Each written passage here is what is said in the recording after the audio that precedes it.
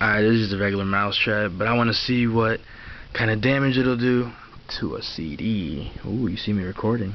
Alright, here it goes. Let's see how badly it destroys it. Oh, damn.